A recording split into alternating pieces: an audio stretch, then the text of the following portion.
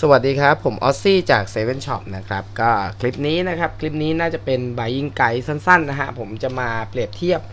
สำหรับท่านที่กำลังเลือกซื้อหูฟัง Soundpeace รุ่น Air 3 อยู่นะครับ ในซีรีส์ Air 3เนี่ยมันมีทั้งหมด 3 รุ่นนะครับ แต่ว่าผมเห็นว่า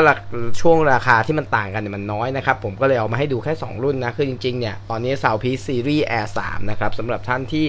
กำลังจะซื้อเนี่ยมันมีอยู่ 3 รุ่นนะครับ มันมี Air 3 รุ่นแรกก็คือรุ่นนี้นะครับ แล้วก็มี Air 3 Deluxe นะครับ ซึ่งเขาก็จะเปลี่ยนตลับจากทรงเนี้ยนะครับ มาเป็นตลับทรงนี้นะครับ แล้วก็ล่าสุดที่เพิ่งออกมาก็คือ Air 3 Deluxe HS นะครับ ตัวนี้นะ ก็จะต่างกันตรงที่ตัวนี้จะเปลี่ยนชิปเซตใหม่นะครับ แล้วก็รองรับโคเด็กแบบ LDAC นะครับ ซึ่งเป็น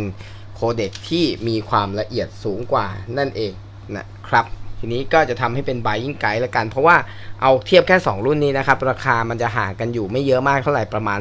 4-500 บาทราวๆนี้นะครับทีนี้มันต่างอะไรกันบ้างเดี๋ยวเรามาดูกันนะครับ กล่องทางนี้จะเป็น Air 3 Deluxe HS นะครับกล่องทางนี้จะเป็นรุ่น Air 3 Standard ก็แน่นอนแหละ ตัว Deluxe HS นะครับกล่องก็จะหรูหรากว่าชัดเจนนะครับเป็นแบบกล่องแข็งๆนะฮะแล้วก็มีรูปหูฟังรวมถึง ใส่โลโก้นี้มาเลยนะครับ High Res Audio Wireless แล้วก็ LDAC ตรงนี้นะครับ ส่วนที่ต่างกันจริง ๆ ของ 2 รุ่นเนี่ยนะครับ เอาที่เห็นชัดๆ เลยจริงๆ ก็คือตัวชิปเซตนะครับ หมายถึงว่าภายในมันนะ ไอภายนอกหน้าตามันไม่เหมือนกันอยู่แล้วสำหรับตัวตลับนะ แต่ว่าชิปเซตนะครับที่ต่างกันโดยที่ Air 3เนี่ยก็ใช้ชิปเซต Qualcomm นะครับ QCC 3040ซึ่งเป็นบลูทูธ5.2 เป็นชิปเซตที่ดีมากแล้วนะครับ คือเชื่อมต่อเร็วปัญหาน้อย อะไรอย่างเงี้ยนะครับ เชื่อมต่อได้ดีมากทีเดียวนะครับ แล้วก็ดีเลย์ต่ำด้วยนะครับ แต่ว่าใน Air 3 Deluxe HS เนี่ยเขามาใช้ชิปเซตนะครับ WQ นะครับ WQ 7033M นะครับ ผมต้องดูเลยจำชื่อไม่ได้โทษทีนะครับ ซึ่งเป็นชิปเซตตัวใหม่นะครับ ซึ่งมันรองรับ โคเด็กแบบ LDAC ซึ่งเป็น High Res Audio นะครับ แต่ว่าเน้นย้ำนะ ไม่ใช่ว่าเราเอาไปใช้กับอะไรแล้วมันก็จะทำงานใน LDAC หรือว่า High Res Audio นะครับ มันทำงานได้กับอุปกรณ์บางชนิดนะครับ อย่างโทรศัพท์ Android ก็จะเป็นรุ่นสูงหน่อยนะครับ ที่ใช้ชิปเซ็ต Qualcomm นะครับ ถ้ามันมีแบบเวลาเราเชื่อมต่อแล้วอะถ้ามันมีโลโก้ LDAC ขึ้นมาให้เรากดเปิดกดปิดได้เนี่ยมันก็คือใช้งานได้แต่ทีนี้ผมไม่สามารถระบุรุ่นได้นะว่ารุ่นไหนมันใช้ได้บ้างเพราะว่าตัวโทรศัพท์ Android มันมีเยอะมากแต่เอาเป็นว่ารุ่นรุ่นที่สูงหน่อยนะฮะจะใช้ได้นะครับในส่วนของ s o u n d p e a c Air 3 รุ่นดั้งเดิมนั้น ก็จะรองรับโคเด็กมาตรฐานนะครับ ก็คือ aptX นะครับ ซึ่งเป็นโคเด็กความละเอียดสูงกว่าของเดิมมาประมาณหนึ่งแล้วนะครับ แต่ยังเทียบไม่เท่ากับ LDAC นั่นเองนะครับ ก็คือถ้าถ้าเปรียบเทียบกันง่าย ๆ ก็คือตัวนี้มันเหมือนกับตัวที่ พัฒนาต่อมาจาก Air 3 ธรรมดานะครับ เพื่อให้มันรองรับโคเด็กที่สูงขึ้นนั่นแหละ แต่ว่าในการใช้งานแบบทั่วๆไป เราอาจจะไม่ได้ใช้ไอ้ตรงโคเด็กส่วนนี้ก็ได้เพราะว่าอุปกรณ์ที่รองรับเนี่ยมันยังมีไม่เยอะมากเท่าไหร่นะครับ แต่ว่าพวก DAP นะครับหรือพวกเครื่องเล่นเครื่องเล่นเพลงแบบพกพาบางรุ่นเดี๋ยวนี้ถ้าเป็นพวกอย่างนั้นนะส่วนใหญ่จะรองรับนะครับ ก็สามารถนำไปใช้ได้นะครับ กล่องก็แตกต่างกันประมาณนี้ทีนี้ผมขอกล่องออกไปก่อนนะ มาดูที่หน้าตากันก่อน นะครับถ้าดูภายนอกเนี่ยรู้เลยนะครับ ก็ตลับไม่เหมือนกันนะครับ ในส่วนของตัว Air 3 Deluxe HS นะครับ จะมีตลับจะมีความคล้ายสาวพีทมินินะครับ คือจะเป็นสีดำเงาเงาแบบนี้นะครับ แต่ว่าในมินิเนี่ยมันก็จะเป็นสีดำด้านๆนะ แต่ว่าสไตล์อะมันจะเป็นหน้าตาแบบนี้นะครับ แล้วก็ ให้รู้ไปเลยว่าเราเป็นรุ่น HS นะครับ ก็โลโก้ตรงนี้เขาจะใช้สีแบบเป็นพิงโกนะครับ แล้วก็พิมพ์ยี่ห้ออยู่ตรงบานพับแทนนะครับ ในขณะที่ตลับ Air 3 รุ่นปกติก็จะเป็นสีดำด้านๆธรรมดานะครับ แล้วก็มีคลิปล่องเส้นอะไรทั่วๆไปนะครับ คือถ้าดูจากความแตกต่างภายนอกเนี่ยก็แน่นอนแหละ ถ้าเอาสวยให้คะแนนก็เดอะลุค HS ไปเลยนะครับ ทีนี้ต่อไปเรามาดูภายในแล้วกัน ตัวหูฟังเนี่ยหน้าตาเหมือนกันทุกกระเบียดนิ้วนะครับ เหมือนกันเปียบนะครับ ต่างกันแค่ตรงนี้อะผมให้ดูต่างแค่นี้เลยนะครับ ถ้าจะแยกออกแยกไม่ออกเนี่ยมีแค่นี้ เดี๋ยวนะเล็กเหลือเกินอะผมซูมเข้าไปให้ดูแน่นะครับ ก็คือตัว Air 3เฉยๆนะครับ จะเป็นโลโก้สีเงินเงินเทาๆนี้ แต่ว่าตัว Air 3 Deluxe HS เนี่ย ก็จะเป็นสีโลโก้สี pink gold เหมือนกับ plate ด้านหลังตรงตัวตลับมันเนี่ยสีเดียวกันนะฮะก็ถ้าความแตกต่างภายนอกเนี่ย มันมีอยู่แค่นี้เลย นะครับสำหรับ 2 รุ่นนี้นะ ทีนี้ส่วนที่ต่างกันหลักๆ จริงๆอะก็คืออย่างที่ผมบอกไปก็คือ chipset มันใช้ chipset คนละรุ่นกัน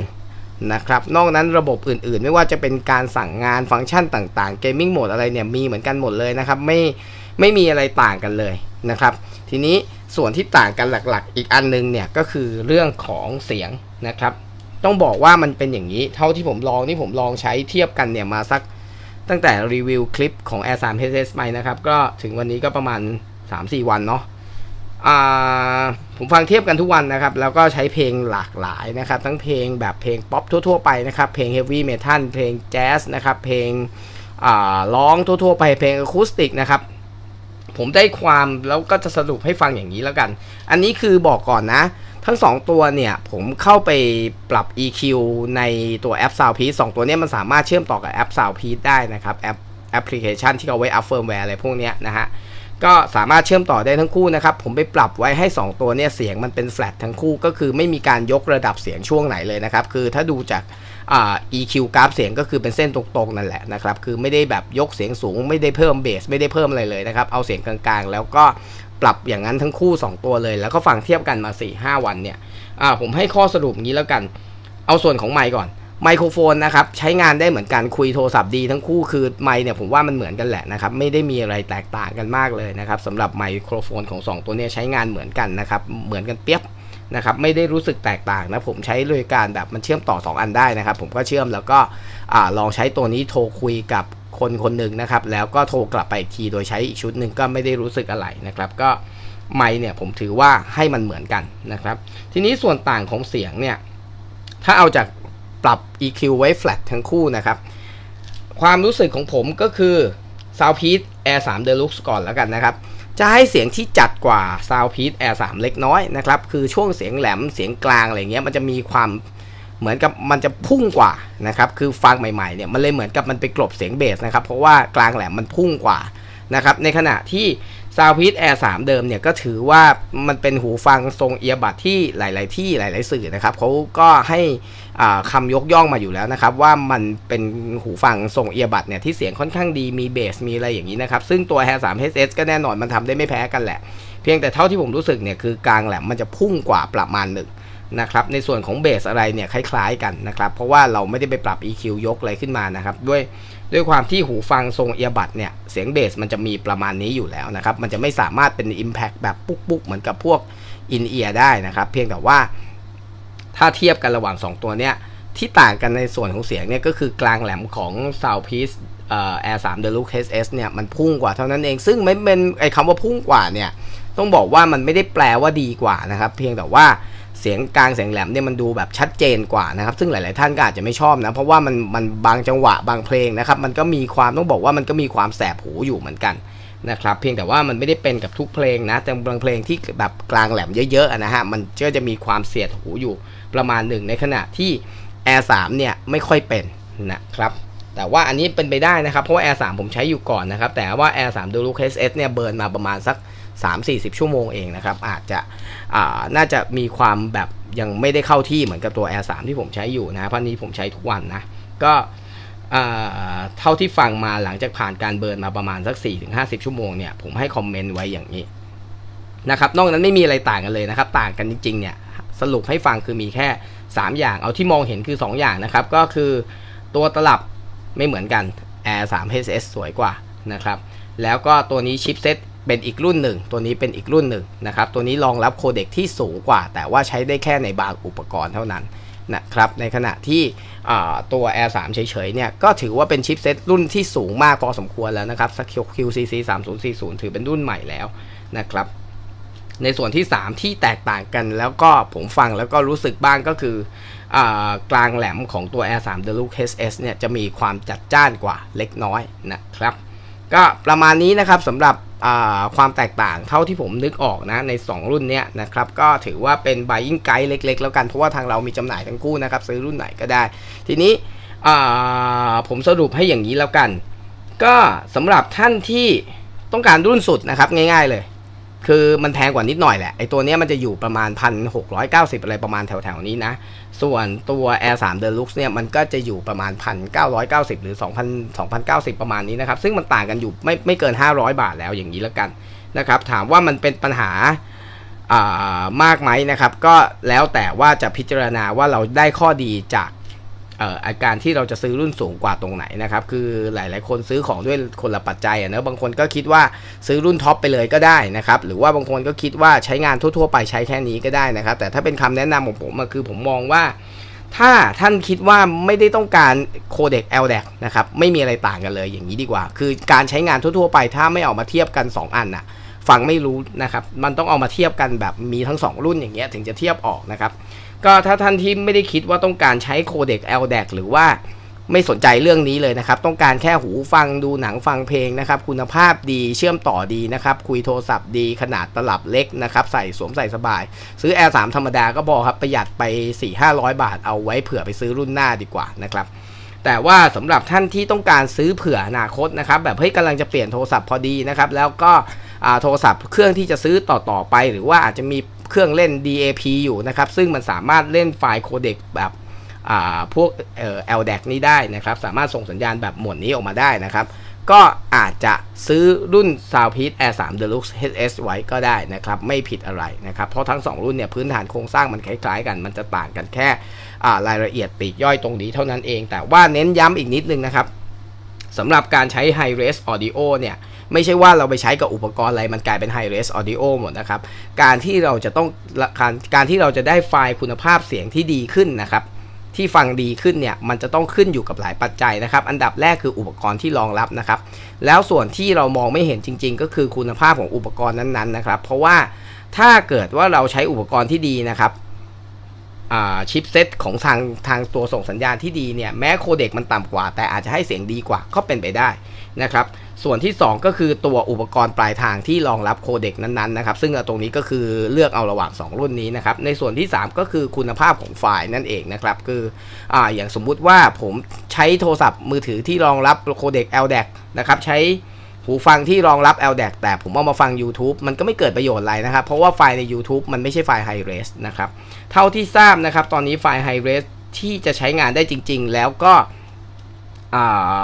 เหมาะกับไอ้เครื่องเล่นประเภทนี้นะครับ ก็น่าจะอยู่ในแอป Tidal เป็นหลักนะครับ ซึ่ง Tidal ก็เป็นโปรแกรมสตรีมมิ่งแบบ High Res ซึ่งเสียเงินรายเดือนนะครับ200 กว่าบาทมั้งนะครับผมเองก็ไม่ได้ใช้นะ เพราะผมใช้ iPhone มันไม่สามารถรองรับโคเด็กพวกนี้ได้อยู่แล้วนะครับอย่างทาง iPhone เขาจะมี Apple Music อะไรอย่างเงี้ยนะ แต่ว่ามันก็ไม่สามารถจะมารองรับโคเด็กพวกนี้ได้นะครับ แต่ทั้งหมดที่พูดมาเนี่ยโคเด็ก LDAC จะใช้ได้อยู่บนโทรศัพท์ Android เท่านั้นนะปัจจุบันนี้นะครับใน iPhone ยังทำไม่ได้ นะครับเพราะฉะนั้นอีกมุมหนึ่งก็คือถ้าท่านที่ใช้ iPhone ซื้อแค่รุ่นนี้ก็ได้เพราะว่ามันจะไม่เกิดความแตกต่างอะไรมากนะครับในส่วนของคุณภาพเสียง High Res ที่เล่นผ่านระบบโคเด็ก LDAC เนี่ยนะครับต้องบอกว่าผมก็ยังไม่มีอุปกรณ์ให้เทสนะครับตรงนี้ก็เลยเป็นเป็นไกด์ได้สั้นๆ ว่าความแตกต่างระหว่าง 2 อันเนี้ยโดยที่เรายังไม่ได้พูดถึงไฟล์ High Res ระบบ LDAC นะมันจะต่างกันยังไงนะครับยังไงถ้าผมมีโอกาสทดสอบนะครับผมกำลังหา หยิบยืมอยู่ แต่ทีนี้ผมก็ยังหาเครื่องไม่ได้นะฮะว่าตัวไหนที่มันรองรับนะ ถ้าวันไหนได้เครื่องมาแล้วมาเทสนะครับ เดี๋ยวผมอาจจะมีคอมเมนต์เพิ่มเติมอาจจะมาทำคลิปให้ดูที แต่ว่าวันนี้เนื่องจากมันเป็นสินค้าใหม่นะครับ ก็มาแนะนำเป็นไกด์คร่าวๆเท่านี้ก่อนแล้วกันนะครับ ก็ประมาณนี้นะครับสำหรับ Air 3 และก็ Air 3 Deluxe HS นะครับ แล้วก็เช่นเคยนะทั้ง2ต้นสองสองรุ่นนี้นะครับทางร้านมีจำหน่ายนะครับซื้อรุ่นไหนก็ได้นะครับเรามีจำหน่ายหมดนะครับ เพราะฉะนั้นก็จะไม่ได้มาเบลมกันนะว่าตัวไหนมันดีกว่านะครับ คือแล้วแต่ว่าความต้องการของคนที่จะซื้อเนี่ยต้องการอะไรจากตัวหูฟังบ้างนะครับ เราก็เลือกแค่ที่เราต้องการพอนะครับ อุปกรณ์เทคโนโลยีนะครับ ผมแนะนำเป็นอย่างนี้ดีกว่าเราซื้อแค่ที่เราจะใช้พอไม่ว่าจะแค่หูฟังหรือว่าคอมพิวเตอร์หรืออะไรอย่างนี้นะครับอันนี้ผมขอแทรกเข้าไปเลยแล้วกัน จากประสบการณ์ช่วงที่ผ่านมาของผมนะคืออของนะครับถ้าออกผ่าน 2 ปีไปแล้วนะครับ เราซื้อหูฟังสัก 2,000 ปีนี้นะครับ ก็จะดีกว่าหูฟัง 5,000 บาทเมื่อ 2 ปีที่แล้วแหละนะครับ เพราะฉะนั้นเรา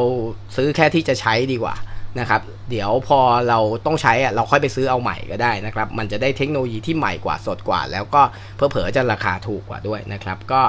ให้เป็นไกด์ไว้อย่างนี้แล้วการจะซื้อรุ่นไหนก็มีจำหน่ายทั้งคู่นะครับ ก็เช่นเคยนะครับ ถ้าสนใจสินค้า พวกนี้นะครับก็ติดต่อที่ร้านได้เลยนะครับหรือว่าช่องทางทางออนไลน์ของที่ร้านก็จะมีช้อปปีนะครับก็มีอัปเดตสินค้าเรื่อยๆลองแวะเข้าไปดูกันได้นะครับสำหรับคลิปนี้ก็ขอบคุณทุกท่านที่ติดตามยังไงก็ฝากกดไลค์กดแชร์กด Subscribe ให้ด้วยนะครับ ขอบคุณครับ สวัสดีครับ